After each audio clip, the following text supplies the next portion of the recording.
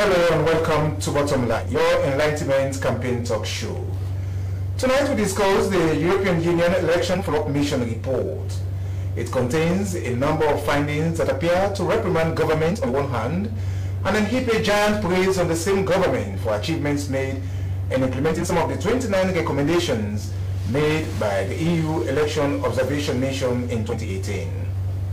While the report states that the EU mission was told that there is a significant decrease in trust in essential bodies which play integral roles in the forthcoming elections, naming the judiciary, the police, the PPRC and NEC. It also acknowledges on the other hand the achievement in decriminalizing libel as a vital step in ensuring and strengthening freedom of expression in Sierra Leone. Why does the EU report single out the libel law? Well, you can join the conversation by following us live on Facebook at SLBC TV channel 31 or through SMS to 030 639. The number again 030 639. My name is Joseph Egbinda Kapua.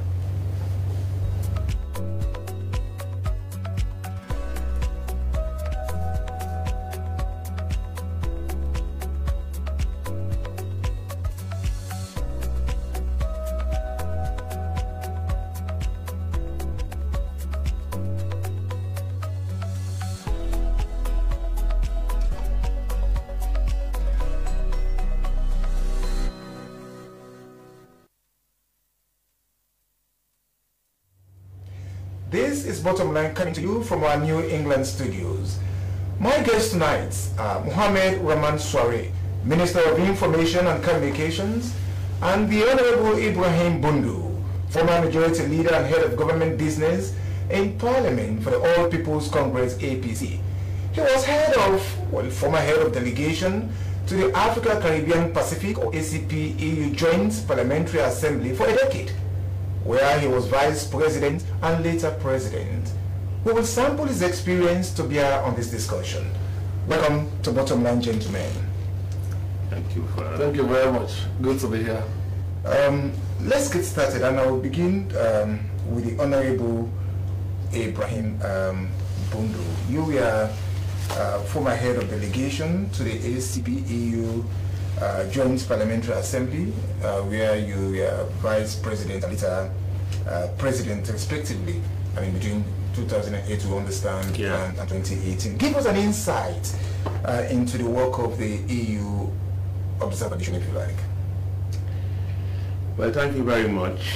Uh, I think routinely uh, the EU has an obligation uh, which stems way back from uh, way back from 1979 under the Cotonou Agreement uh, to interface in terms of uh, development, in terms of politics, with Sierra Leone through the ACP Cotonou Agreement, the African, Caribbean, and Pacific. So that relationship had been, had been going on up to as we speak. So the EU delegation uh, is sending a mission here for this purpose. It's a, it's a routine thing. It's not something out of, you know, they are not, uh, they are not uh, a civil society outfit. There is uh, an agreement, the Cotonou Agreement. I was fortunate to be a member of that parliament where I served for several years, as you have stated. So the EU coming, you know, to Sierra Leone has a lot of meaning. One, under the Cotonou Agreement, and two, it is an obligation for them to to actually come uh, as and when necessary to to to to interface with the, the countries they are dealing with, especially the ACP countries. How is it um, constituted within the mission? Well, the mission, um, of course, I, uh, one of the the the, the, uh, the head of mission was one uh, member of parliament that I sat and uh, of course, as a man of uh, strong note is one of the strong European members of parliament. Uh, he has been here before, Nwassa. He's, uh, we entered as parliament together. I think he entered in 2009, I entered in 2008. And we have had a very good relationship. That's somebody I know. The constitution of that is uh, with the, because I believe he, he was the head, uh, yes, he's the head, and uh, he's coming from parliament. They have other outfits that uh, constitute, you know, constitute that uh, delegation. You know, they have their own mechanic, you know, mechanics on how to, who and who they would want on certain missions.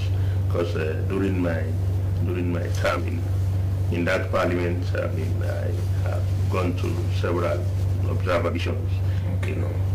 So they are norm it's normally uh, under the, the administrative, you know, uh, wing of the of that assembly. But does the mission share any, any political philosophy? Well, it does because the EU relationship with the ACP, where Sierra Leone comes in, you know, is uh, uh, is a relationship that's that cuts across economic uh, development, political, you know. That's why we have uh, an assembly, a parliamentary assembly, and when we talk about a parliamentary assembly, that should speak to the fact that they, they, they cover everything that is political. Um, the Honorable Minister, um, Sierra Leone hosted a number of um, election observer missions, mm -hmm. I mean, spanning um, um, 2002 was I mean, like the EU, the Carter Center, ECOWAS, AU, and, and a host of other, you know, um, local organizations, like I said, between 2002 yeah. and uh, 2007, 2012, and even now uh, 2018 then. Your government um, was in opposition then. How does this government understand um, elections observer missions? Uh, thank you very much. You know, this uh, uh, been a long journey as far as my memory could serve me, um, we first served here um, in 2002. So elections observer mission recommendations are not a new phenomenon in Sierra Leone. Following the 2002 elections, um, there were um, recommendations, same as for the 2007 elections um, outcome, same as after the 20 um, 12 elections. But I want to note that in most of these instances, you know, previous governments have done little to implement those recommendations. I particularly want to zero in on 2013, following the 2012 elections. Seven recommendations were made to the previous administration for necessary actions. None of them was implemented, and they included um, repeal of a criminal libel, empowerment of women, you know, giving them more space, giving them more voice, right? All of those things were brought forth as part of the recommendations.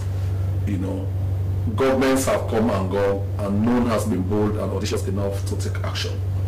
So we are saying, as a government, that we are addressing a, a deluge of historical shortcomings, a deluge of historical inactions right, from 2002 to 2018, we were not in government, but governments are about taking responsibility.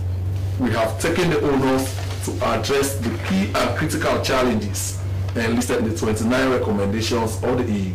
But before that, even over and above that, we have in totality 111 recommendations. Um, the other form of observer missions, the EU, the Commonwealth, ECOWAS, and the Carter Center had 82 recommendations, yeah, spanning over a long period of elections observer um, sessions.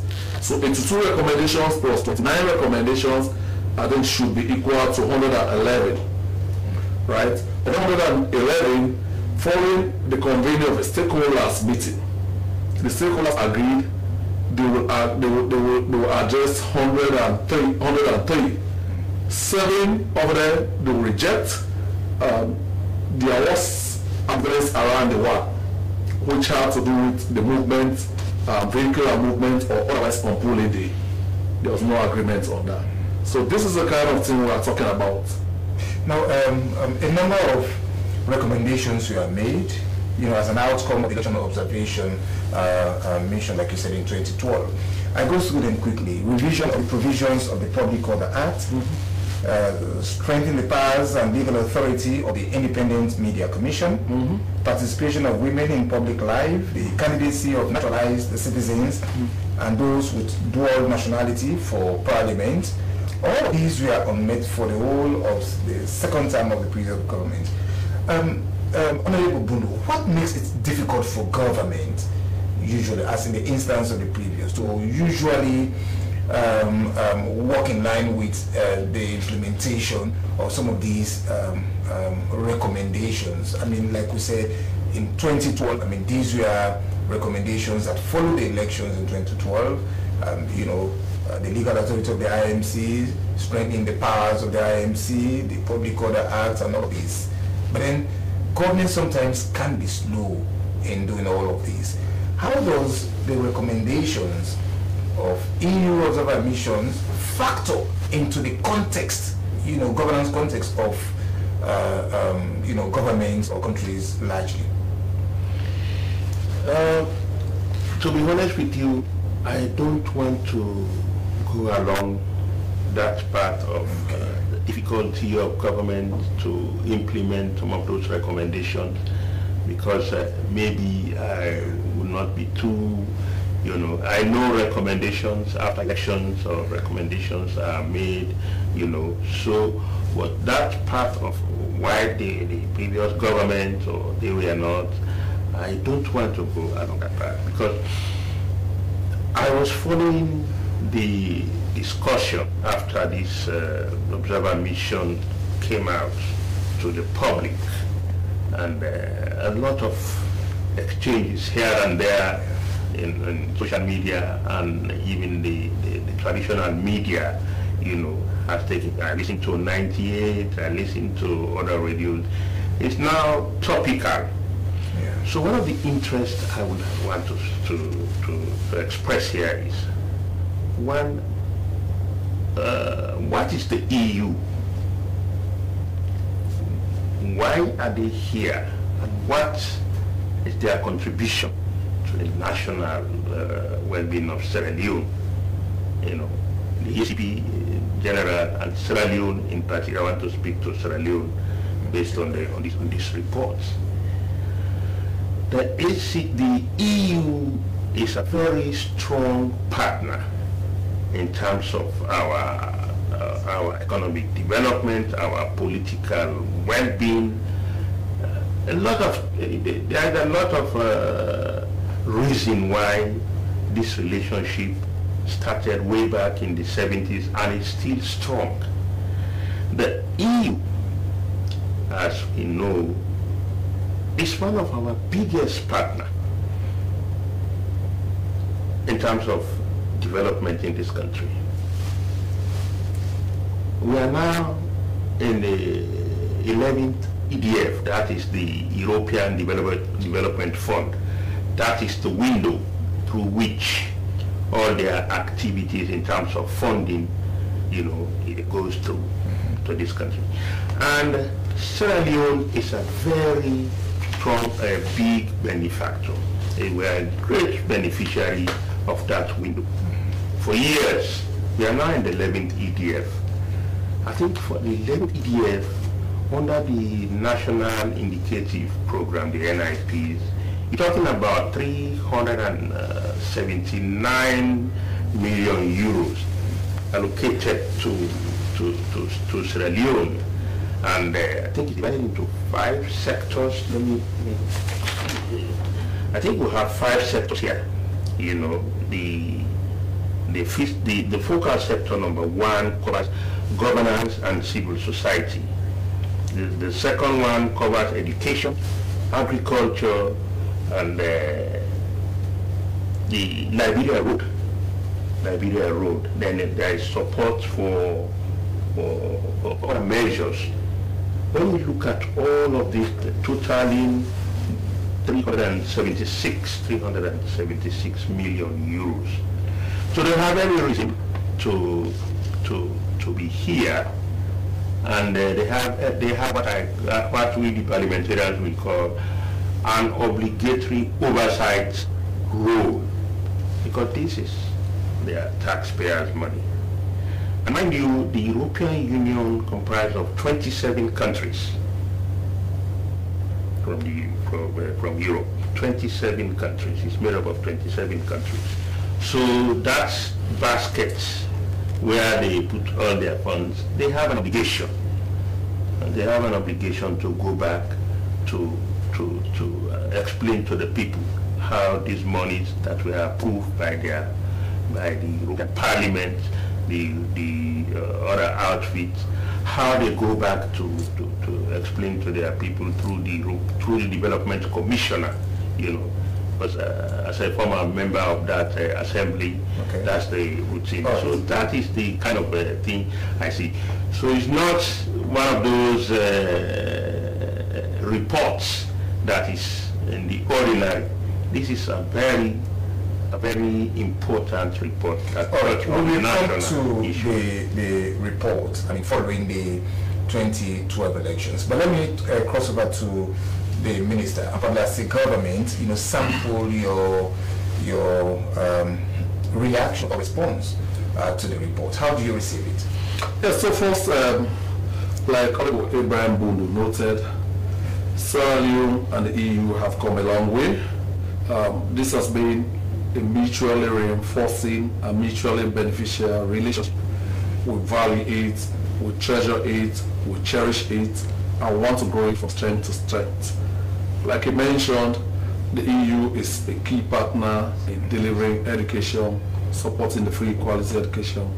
Recently, you know, we are together at the launch of um, about 100 school buildings to support the free quality education we know they support governance, um, resilience, they support civil society, and strengthening governance institutions. We appreciate all of this and want that relationship to continue.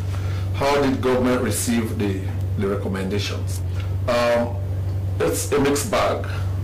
There is a dose of disappointment as much as there is cause for celebration.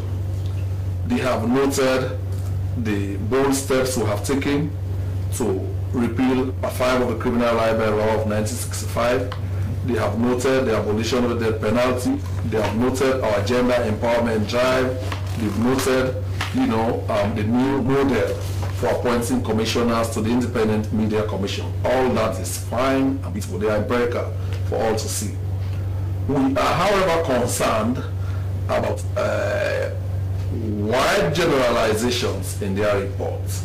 For example, they noted that they were told, they were informed that there is waning trust in elections management bodies. I mean, while that might be very legitimate, we want the European Union to further help government to be able to uh, address this issue. How do we want them to help us? We are partners, we come a long way, we have had a long enduring relationship. We will be very interested in knowing the baseline they took, they took from, who will be interested in getting the relevant data, uh, you know, that informs their categorical statement that they, are, they have been informed that there is drop in confidence in these EMBs, electoral management bodies. We will also be interested in knowing who these people are, who they spoke to.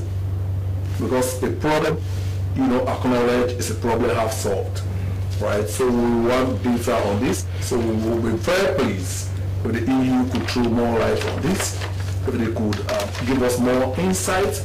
It's possible they have, you know, they know something that the rest of mankind does not know. So that will be a logical first step in addressing the waning trust like they have alleged.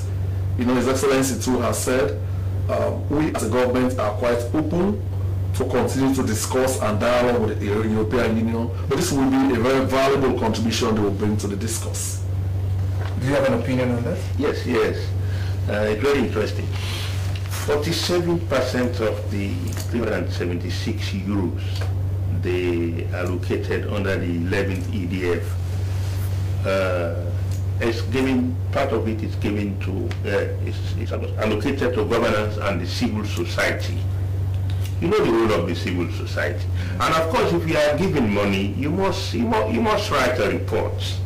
You must submit a report at the end of to, to report the activities, you know, on how that money is spent. So I think that one is, uh, could be I mean, uh, uh, uh, a source through which those informations can be, you know, like he's asking the source of the information to categorically talk about the winning trust, you know.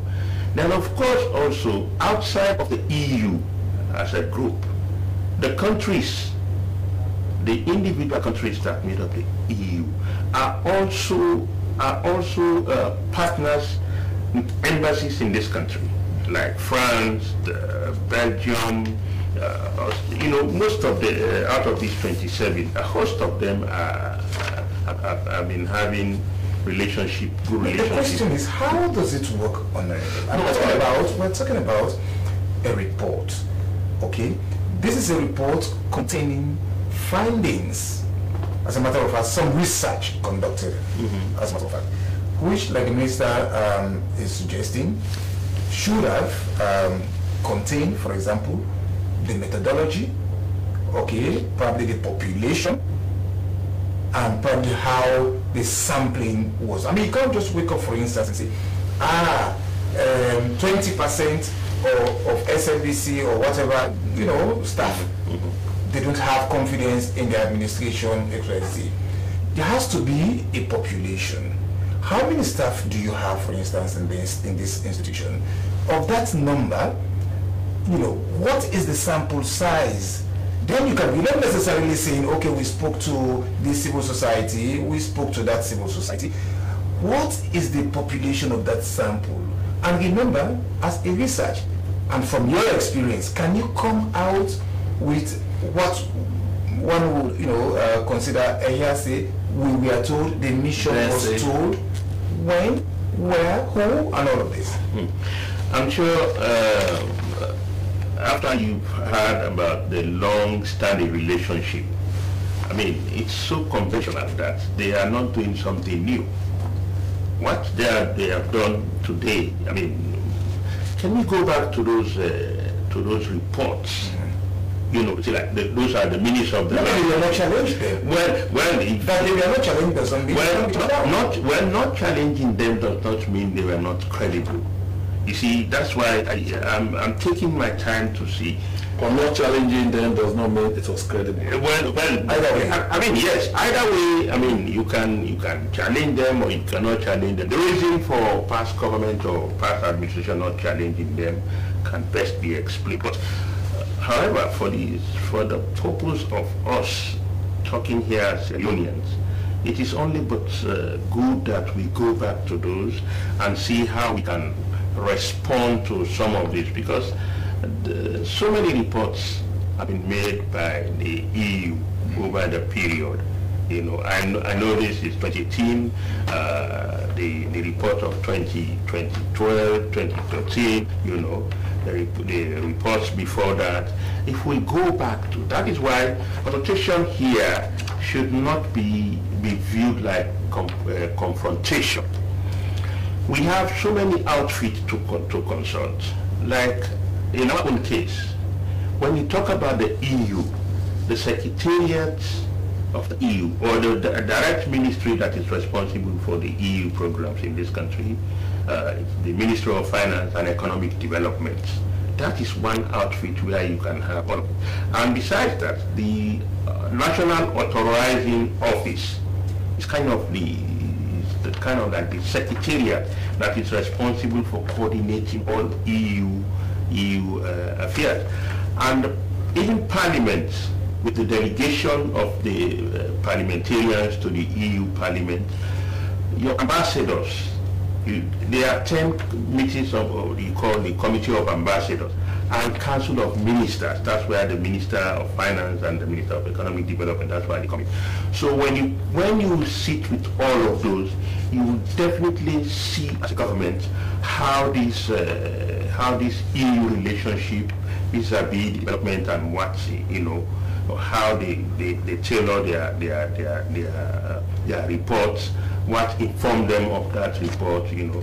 So that's the kind of thing I, I'm sure that, that, uh, that previous governments were doing, you know. But to leave it in the hands of, you know, we have to be very careful. We, we tread very cautiously. This outfit I have explained here will definitely give us uh, a, a very serious information that will not bring in people who might be ill-informed, you know, like when I was listening to some of the, the, the, the, people that were indicted, like the judiciary, like the uh, PPRC NEC. PPRC NEC, yes. Because the question is, first and foremost, are you benefiting from the EU uh, uh, European Development Fund? Yes, PPRC. Yes, judiciary. Yes, uh, uh, the others. So if you are benefiting from them, then definitely they have an oversight responsibility. Is it your position that because you are benefiting from them, you have to be shy, if you like, you know, in so far. No, no, no, if I will not uh, allow you to complete, definitely that does not suggest because I mean, getting something from you does not mean uh, I should not come out with my own uh, my own queries. Because this, is a report. We are talking about a report suggesting a significant decrease. A significant decrease. And there is nowhere there's nowhere you can sample how that is the case. And all you can suggest at the moment is to see, to tread cautiously and probably now go to these outfits and, you know, get the information.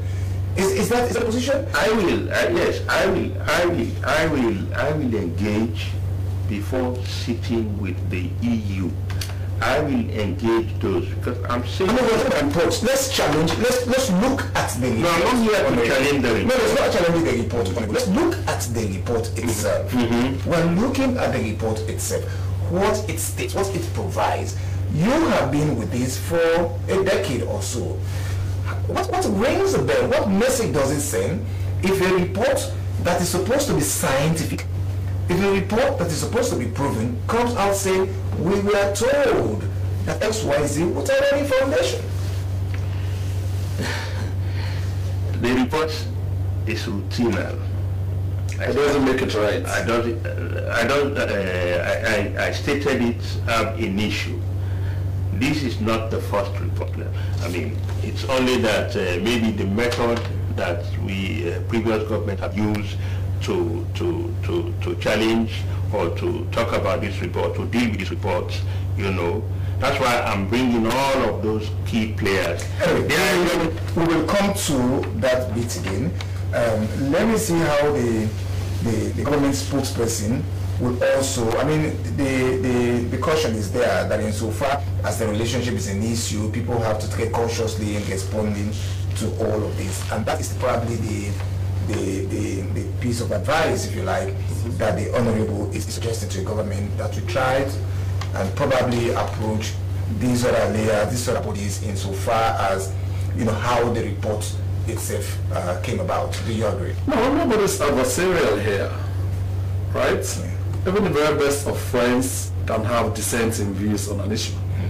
Um, they have pointed out 29 recommendations. Prior to this period, many of the previous governments have done nothing about those recommendations, right? In 20, in the 2013 um, cycle, the recommendations that were issued, the previous government did nothing about it absolutely. He can bear witness to that. This is fact, right? This government is three, three and a half years old. We have already done um, quite some heavy, heavy lifting. The repeat and all of the things I just enlisted and we are committed to doing more to address the concerns. Because President Bio is never shy.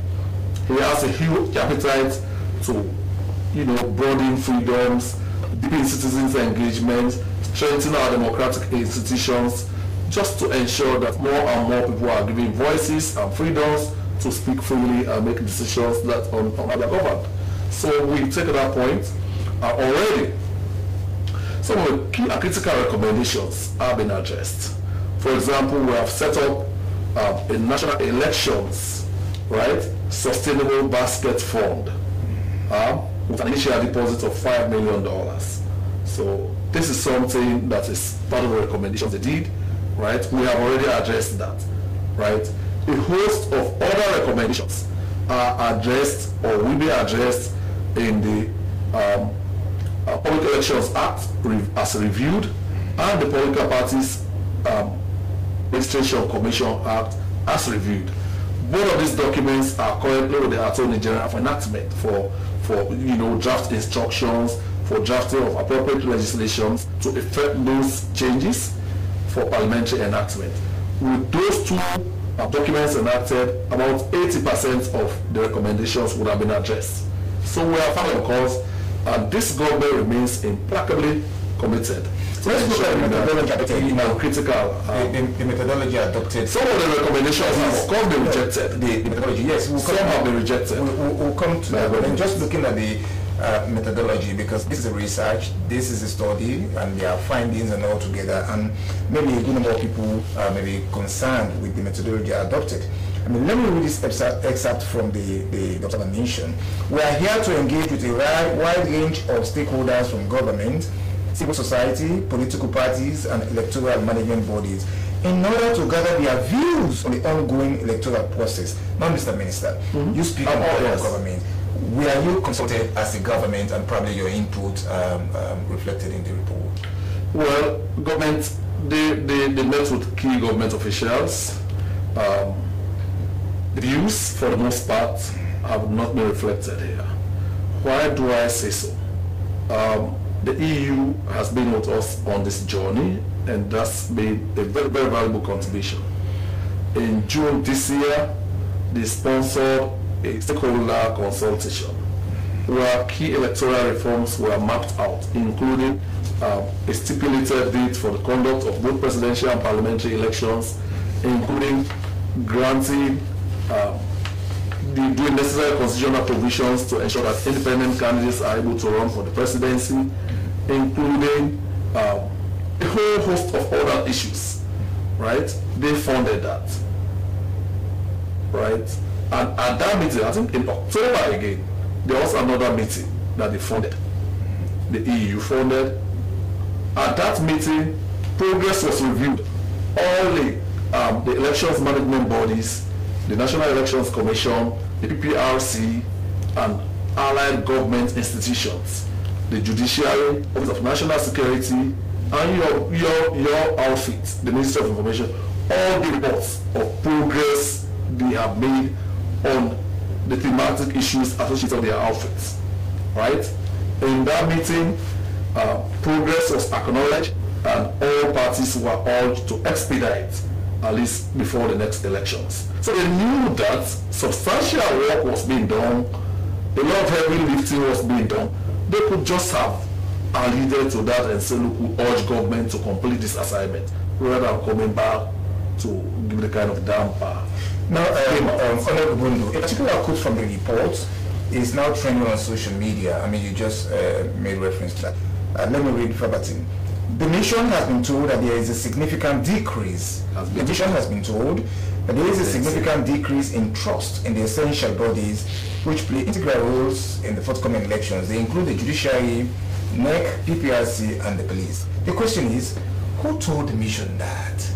I mean, is it the case again that, like you said, um, we have to go to, I mean, these other institutions, these players? I mean, there is no attribution to a percentage of interviewees, as a matter of fact, even if not named those interviewees, who to the EU a percentage of respondents who actually uh, said so.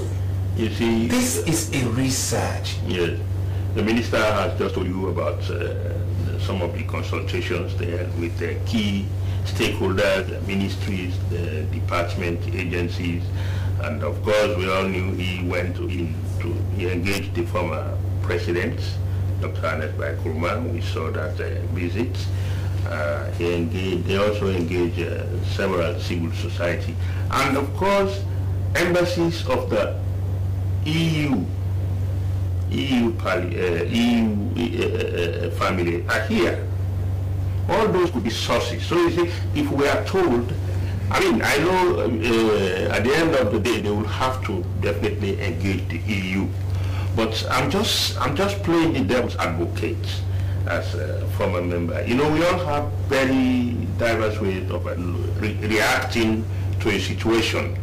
We have been in this situation for the past 11 years when uh, we are in government, and uh, these reports were coming, you know, as uh, maybe biannually or annually. Then when they come, they, it is your, the way you manage them that will bring a brouhaha or, uh, you know, that will just uh, resolve the issues and uh, you forge ahead. That's why uh, I told you I don't want to involve in the, uh, we have done this, the others did not do this. That's really not, uh, you the way I want to look at things. The way I want to look at it, when I look at the relationship between the EU and Sierra Leone, and having sat in that parliament in a higher capacity, uh, I was a bit worried about the discussions that were going on on social media and also in the traditional media. But that is the, one of the encouraging factors that drive me to say, let me come and contribute. Because this is one of the, the, relationship that you don't want, you know, to to actually go sour. So the, the, the more we become very consultative and very cautious on how we But out with a report. Is it wrong? Um, if the government can respond. They are constructive. No, it is not wrong. They have been coming out with reports, and past governments have been have also been responding.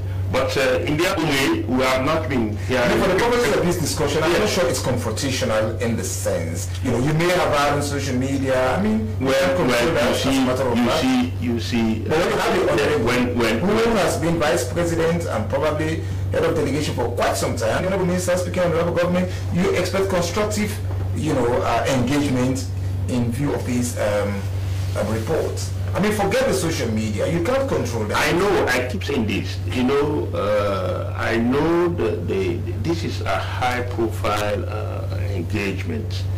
And uh, we have also high profile people in the, both in government and other outfit to contact so that uh, will not leave it, will not be overtaken by events or by some, some, some pronouncement of some social media people, you know, even in our radios when you hear, uh, when you listen to, to, to the representative from the judiciary, I was a bit worried about some of the statements, you know, that, uh, that, that, that came out. And even, you know, uh, for, for, the, for the EU, you know, to, if you want to confront the EU, I'm not here to actually say, don't don't don't air out your frustration, you know, whether uh, you control it, to say the least, because that's a very uh, uh, uh, high-profile relationship that benefits Sierra Leone so much. All right, um, the Honorable Minister, let me quote another portion of the report. Um, like with the 2019 High Court decisions to declare the runner-up elected in 10 constituencies eroded confidence in the judiciary. I mean, by this statement, the EU is challenging our High Court decision and probably suggesting in the last paragraph how the letter of our constitution should be applied. Is that um, um, not a little, if you like, um, um, condescending? I'm, I'm honestly to um, avoid going into the merits or otherwise of that.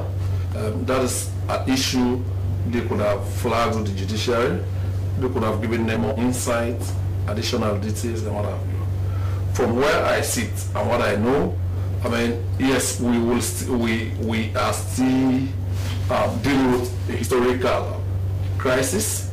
The judiciary, like all other state government institutions, have had their own fair share of challenges. But I am aware that for the very first time in the history of this country, every part of this country now have resident judges, right? Which makes justice expeditious, which makes access to justice, you know, um, a lot more possible than in all the time since we gained independence. That is in itself commendable, right? Um, lawyers like to say justice delayed is justice denied. So these people now have access to, justice. Talk to people in Falaba district, talk to people in Kailahun and other far from communities. This is happening. I'm also aware that this government has recruited more state councils than any other in the recent history of our country. You know, because before now, cases are unduly adjourned because the state council is not in court and, you know, for a host of other reasons. All of these things have been addressed. Yes. Have we, have we uh, addressed all of the challenges in the judiciary? No, there are still challenges. But, you know, I'm sure the EU team will have benefited a lot more sat with the Chief Justice and his team to understand the anatomy of the justice delivery system. Right. But again, that's a conversation for another day. Um, so I am very heartened by the fact that both the EU and the government of Sierra Leone are still in discussions and both parties have demonstrated their willingness and commitment to deepen this conversation just so that at the end of the day the eventual beneficiaries will be the government and people of Sierra Leone and the EU too is seen to be giving their taxpayers um, value for money that is spent here. Yes, and we Yes, also have an opinion on yes, this. the opinion I want to, because the, the question is very specific on uh, what the, what the, uh, the honorable from the EU Parliament said about the 10 MPs. Mm-hmm. You know, I mean, me and you, all of us sit here, this is not something new.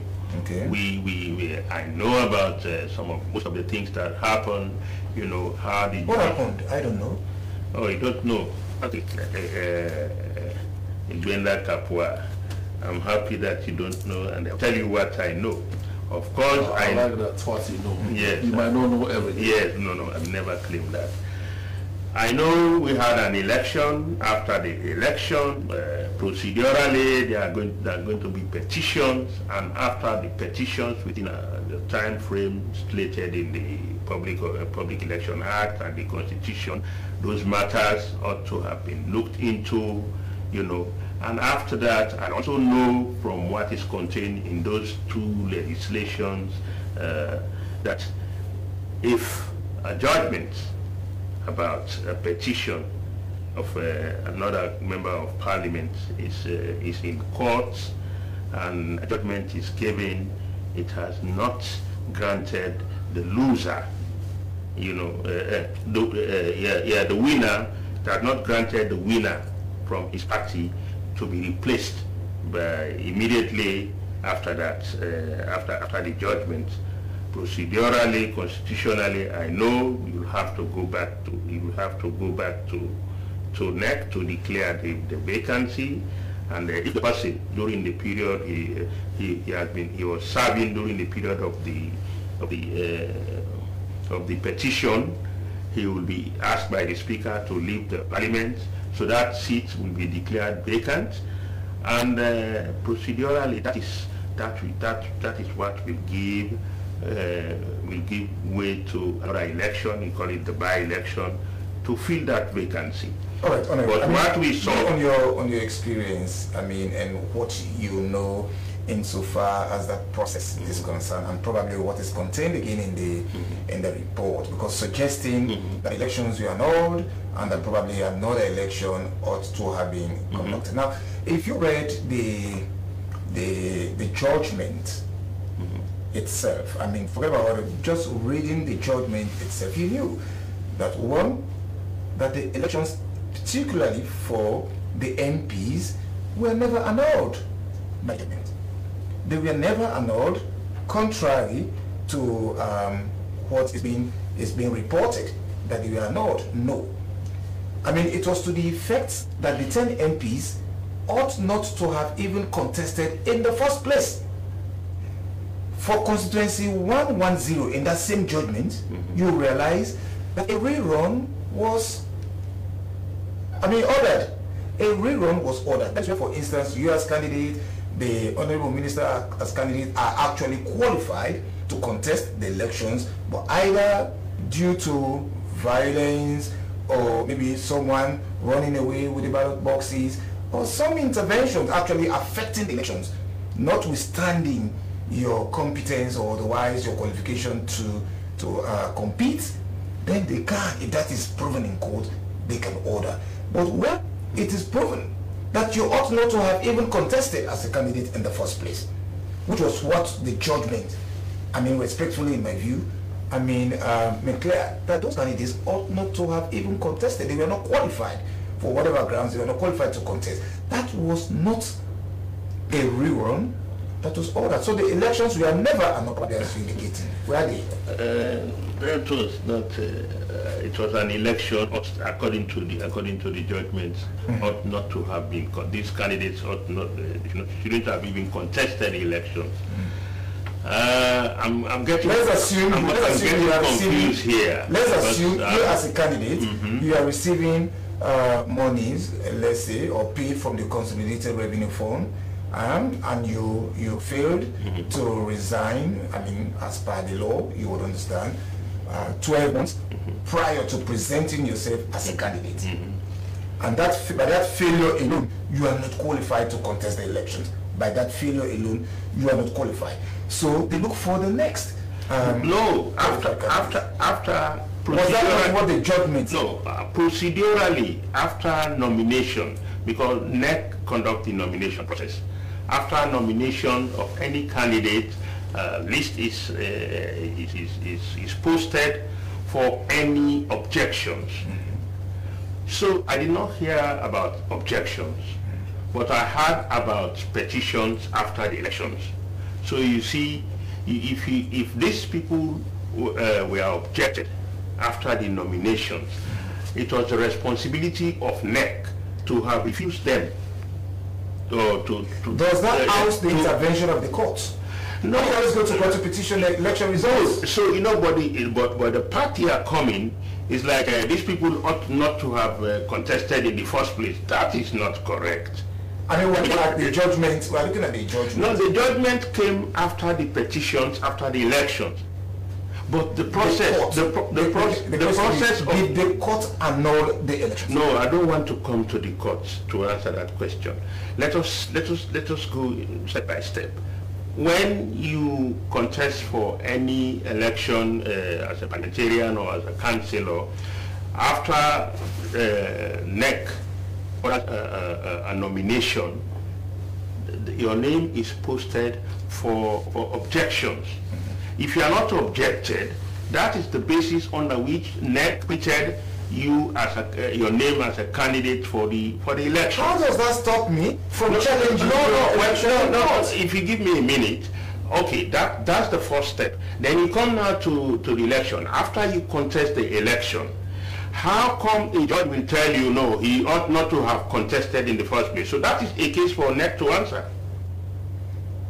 You, you seem not to have gotten the point. Um, uh, I so do. I so the do. Courts, the courts look at the facts. What are the facts? One, mm at the time you presented yourself as a candidate, mm -hmm. you present yourself to NEC. That is what I'm saying. At the time you presented yourself as a candidate, mm -hmm who determines whether or not you were qualified as a matter of? NEC. It's NEC. No, NEC? Not the court, it's NEC. If that is taken to court, I mean, let's assume NEC, uh, honorable, get this, NEC even announces results, election results, okay? And that is challenged, the results are challenged in court, are they not? I know, you know, you see, you, you have uh, uh, so notwithstanding not validating that, no, courts can also come in. I know that is the reason why uh, the, the, the petitioner graduated to, to the courts to say that this man has contested, but I've just told, or I've just, I've just, just have uh, records of him taking uh, salary and, you know, against the dictates of the constitution. So you, you, you can do that. But at the initial stage, when you are going for nomination, it is NEC that determines your qualification by posting your name for any uh, objection. We call it your objection.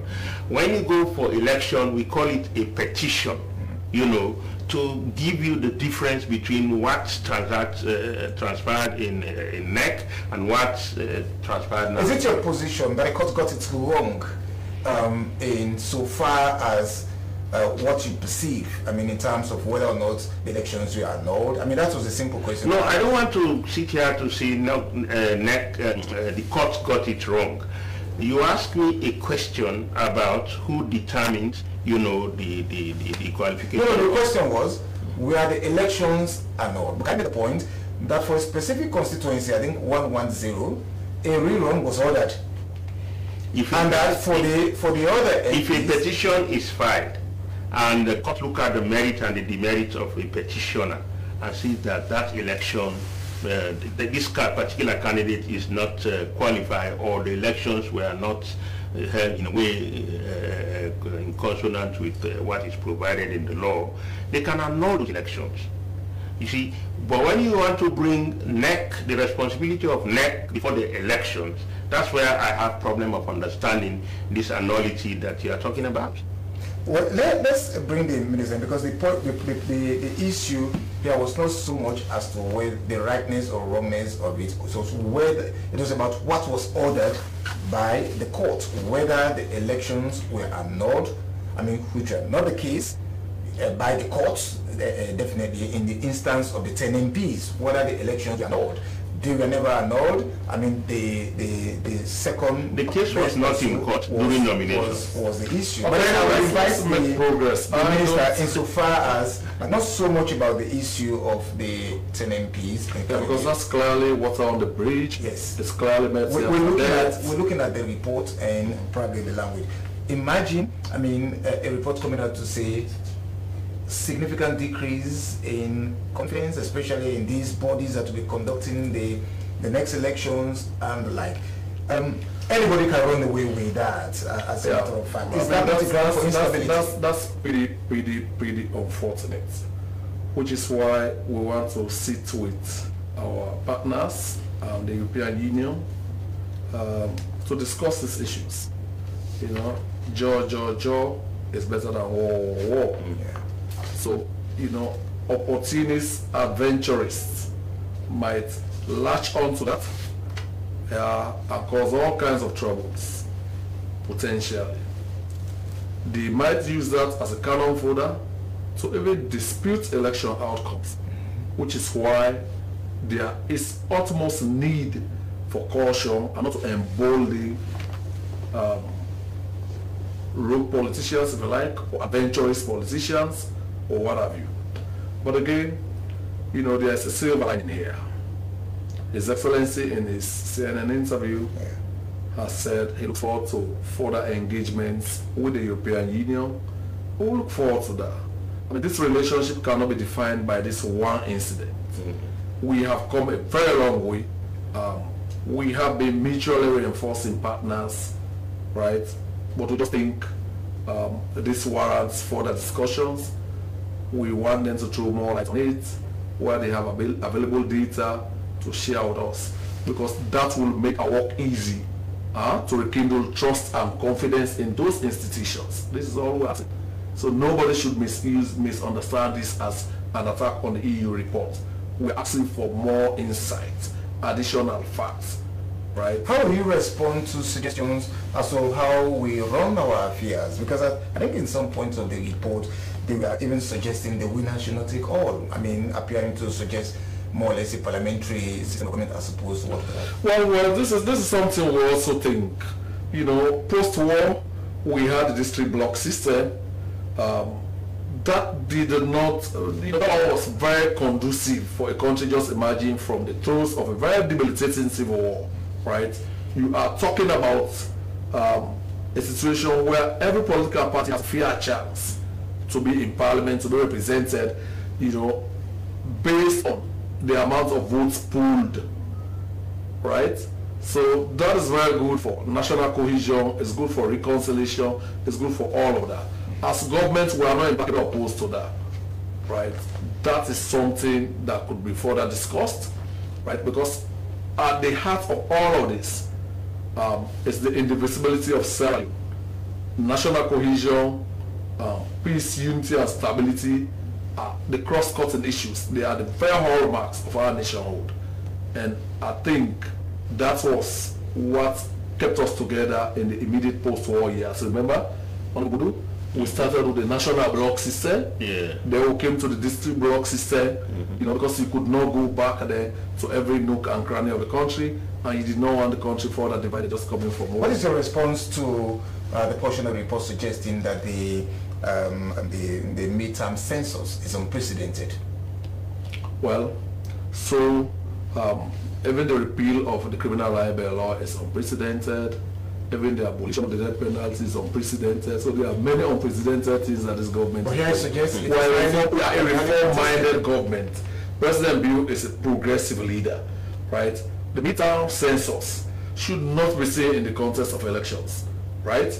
We are talking about development planning. We are talking about programming. We are talking about resource allocation. So you really don't need, you don't need um, the midterm census for, you, you probably can only use 10% of its whole value for elections. The rest of it you need for development, for resource allocation, and for development planning.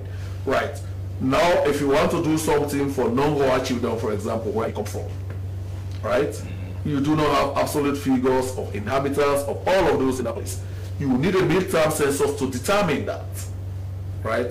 NGOs might want to the population of a community before they go there. What we have are absolute figures. And what my teacher has taught me back in school, even though I was very poor at mathematics, was show walking. Show walking. Yes, this is our population, but how did we get from there to here?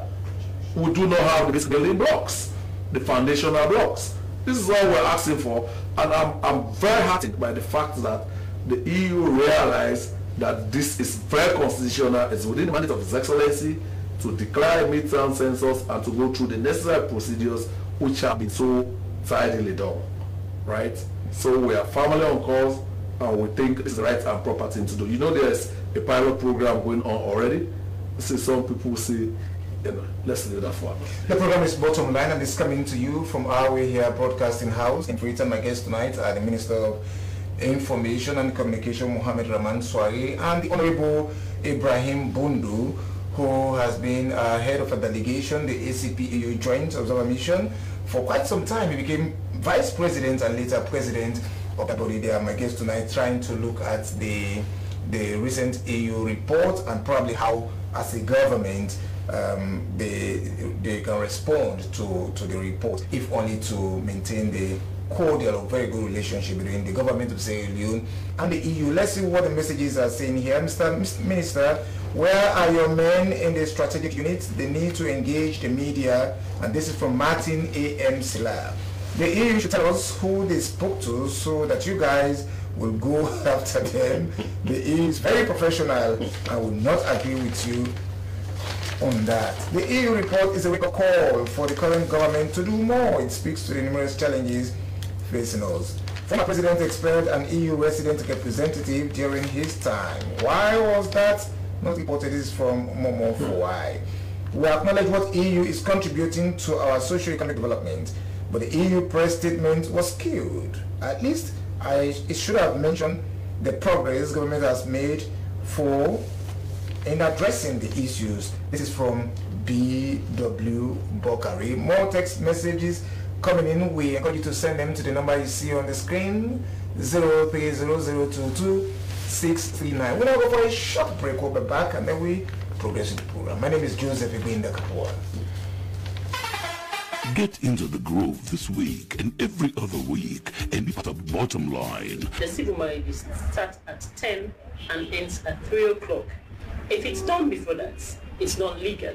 Bottom Line, the all-new SLBC radio and television public enlightenment campaign talk show is especially designed to delve into issues and graciously offer you an amazing, appetizing, and satisfying cocktail of in-depth views, comments, analysis, and prognosis by well-grounded experts with wide-ranging knowledge and experience. When we see a country that is doing the right things, we want to reward them and to help them succeed even more. Get cracking and tune in to Bottom Line on the SLBC for 60 minutes of incisive and pragmatic good governance interviews, accountability interviews, and personality interviews for the whole story behind the story. What more can you possibly hope for?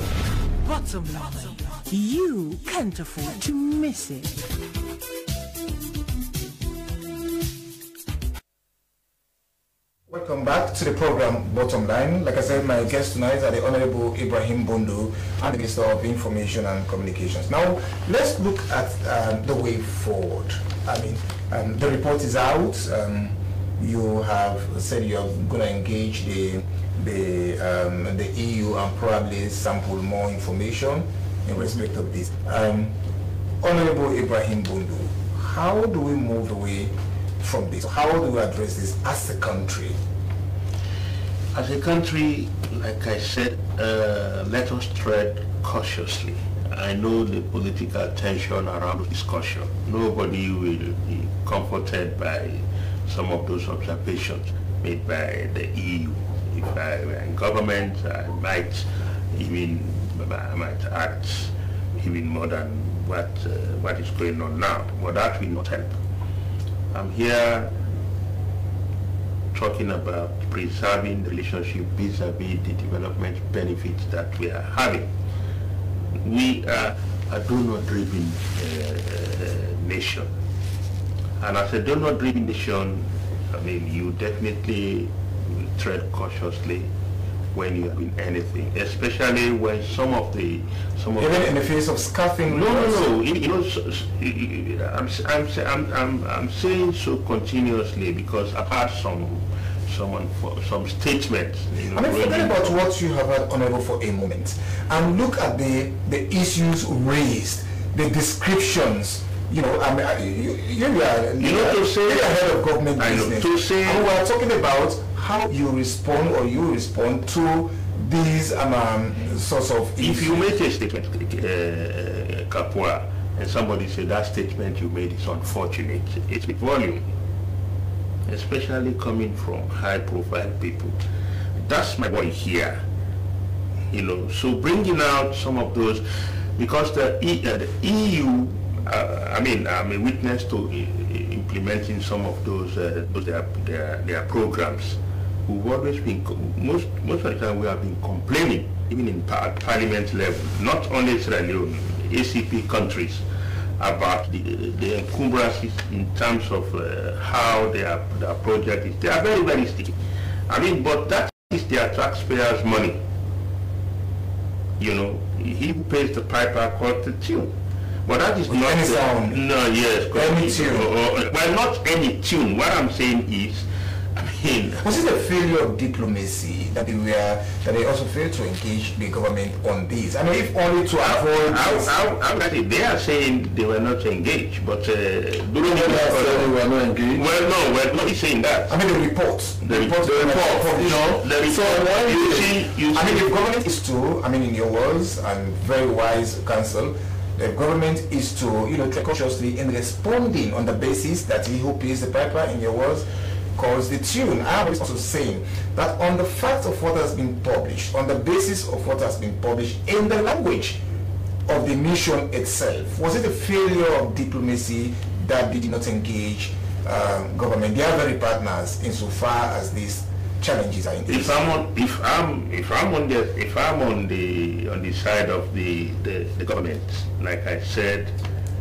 I will engage the, the, the, the the ambassador in Brussels, I will engage the Minister of Development and the, the NAO. If you were You on the the side, technic, technically, the, these people will, will advise you, you know, because we all have our ways of uh, That's if you were on the side of government. If you were on the side of the EU, how would you have come out with such a report? If I, if I were on the side of the EU, Yes. well, the EU has its own way of monitoring I mean, their, monitoring their own grants. if you mind, you, mind you, the EU is 100% grants, not a loan. So the, their, their method of monitoring how those grants are used in any country, I can tell you without hesitation, I mean, you have to understand it and you have to put up with it if you want to, if you want to use that grant. This is where I'm coming from. The Okay, so, so, so uh, we probably have leaped too fast. We are not talking about using grants right now. We are talking about responding to a report that has been published. So, uh, my dear brother, um, this government remains committed to implementing the recommendations of the European Union and other uh, observer groups.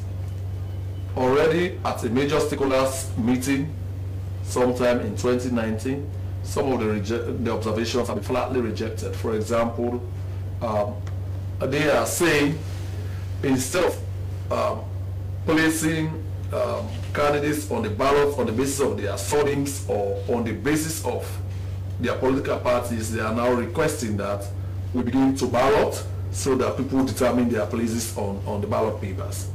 We have rejected that as government and as stakeholders, right?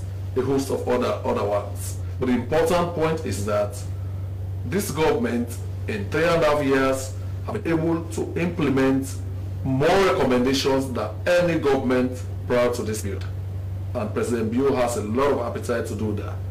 Um, for others that have been implemented, with the review of the Public Elections Act and draft instructions given to the Attorney General, uh, with the review of um, the PPRC Act and drafting instructions given to the AG, this is work in progress and we are confident that on the enactment of those by the Senate Parliament, about 80-90% of the recommendations would have been addressed. Mr. Minister, you seem to be responding as though this was an assessment of the three-year uh, governance of, of um, President Bio. I mean, we are talking about uh, 2018, um, you know, the outcome of 2018 elections and recommendations that probably you are even in opposition. Well, no, no it's, it's not probably. We were. The fact of the matter is, this has become like the original sin.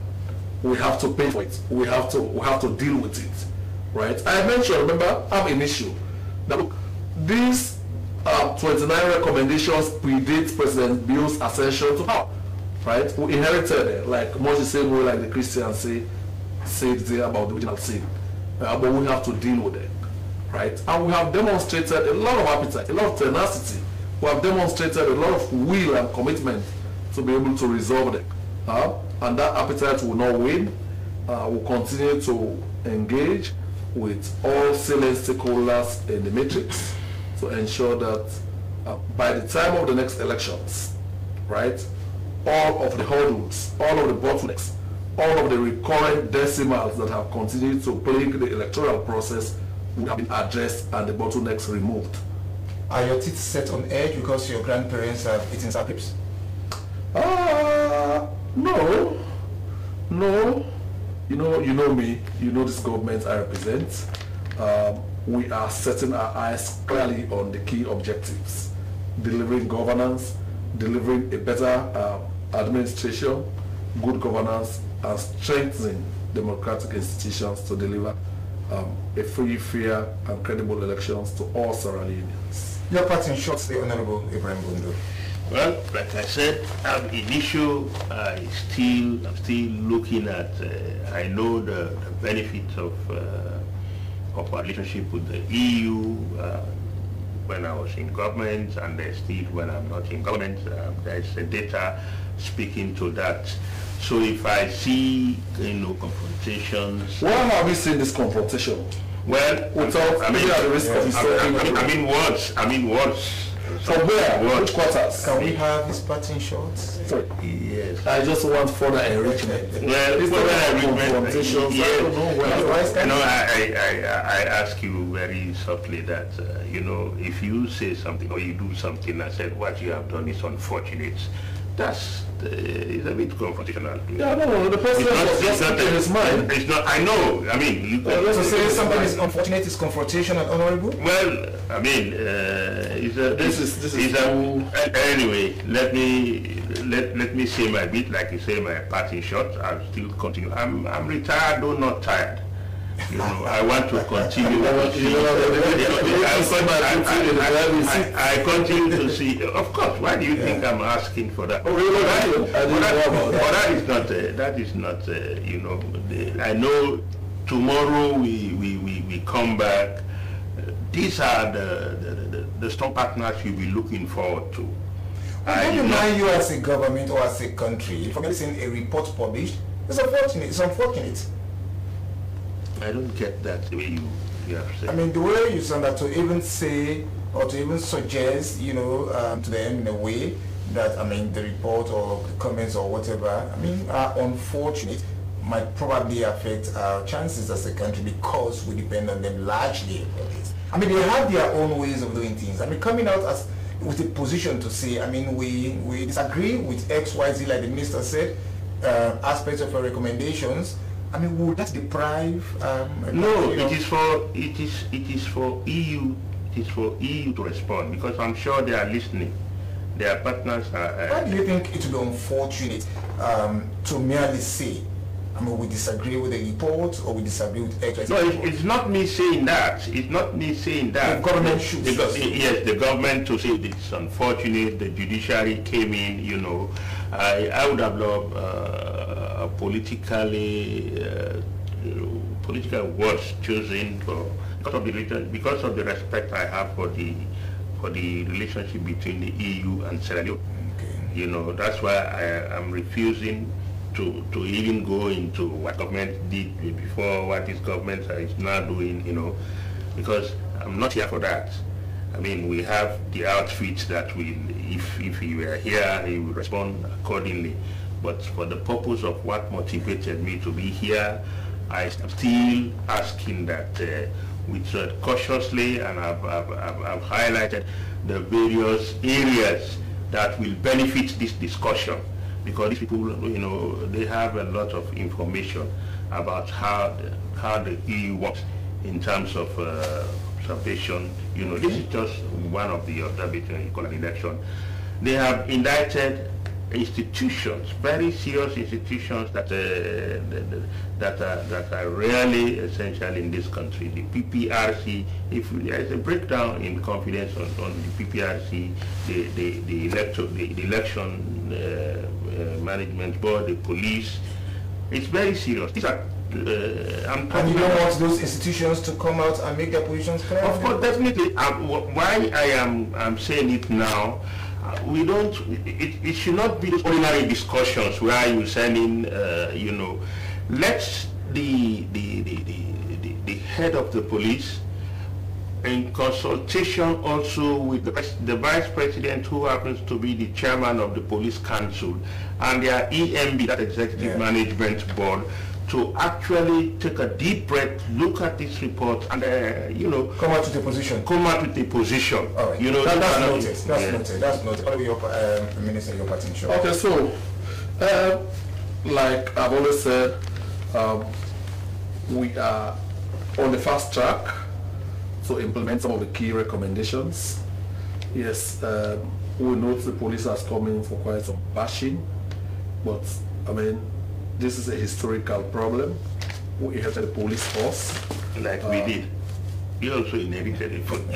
Okay, so you are comparing 11 years, you are comparing a, a, a So this inheritance will always go. I will take over tomorrow. We'll go to inherit your police. No, no, no. So we are saying if we have all the time in the world, we have started an engineering process to capacitate the police. Um, the police is not agile, it's not very mobile, cannot be robust in the current constrained environment. We took over a police force that had to use mobile phones to communicate amongst themselves, right? In far-flung locations where there are dark spots, they are incapacitated. The mobility itself was quite constrained. So as I speak to you, uh, you have a technical team in Germany to inspect some trucks for procurement for the police to make them nimble, to make them agile, to make for more uh, time response to calls and to policing duties, particularly in difficult terrains like we had recently in Koinadu. Apart from that, we just put out expression of interest for the procurement of communication sets for the police. So all of this will will enhance the capacity of the police to be able to police more effectively elections wherever they may be held. So this is not putting arms akimbo or throwing up hands in. We are making real efforts. Let's leave it here, uh, let's leave it here, Mr. Minister. The program, having bottom line coming your way from uh, Broadcasting House here in Freetown. My guest have been the Honorable Minister of Information and Communication and Honorable Ibrahim Bundu, former leader of government business and, you know, um, major party in Parliament, the All People's Congress. But more importantly, he was also head of delegation for the ACP EU mission where he led that uh, outfit as vice president and later president of that. We hope you have enjoyed this program which came to you from our side here. Many thanks to all of you, those who joined us on radio, those who joined us on television, and also our other platforms. Hopefully, we'll be back with a repeat broadcast of the show. Until then, thanks to my producers, Patrick Salia, Anthony Kuma, members of the technical crew. Until we meet next week here at Broadcasting House, Joseph Igwenda Kapua is name, wishing all a pleasant evening. Bye-bye.